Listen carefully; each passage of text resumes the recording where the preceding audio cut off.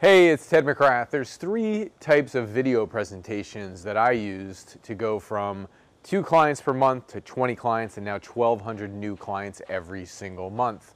So the question is, how did I actually do it and what are these three types of videos?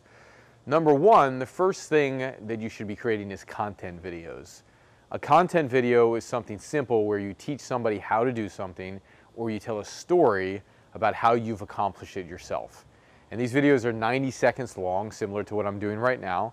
And you're just giving value and there's no call to action at the end of the video. The second type of video, once you're releasing content, is you have to learn how to create ads.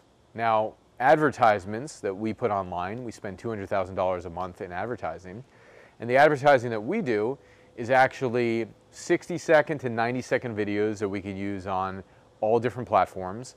And we're making a call to action to a free gift that we want to give away to actually collect emails.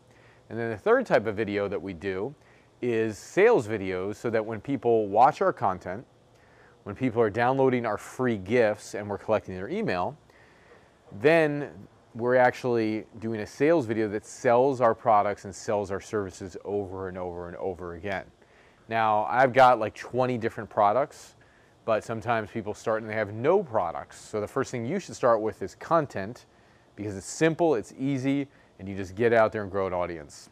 The second thing is, if you already have content out there, start doing ads, and we have the formula for ads, which is very simple as well. And the third thing is, then you got to create sales videos, which are a little bit longer, anywhere from three to five minutes if you're selling a low tier product, to actually sell the products and monetize your actual business online. So those are three types of videos. It's helped me make millions of dollars online. It's given me freedom and it's allowed me to reach people and really make an impact. So I hope this serves you.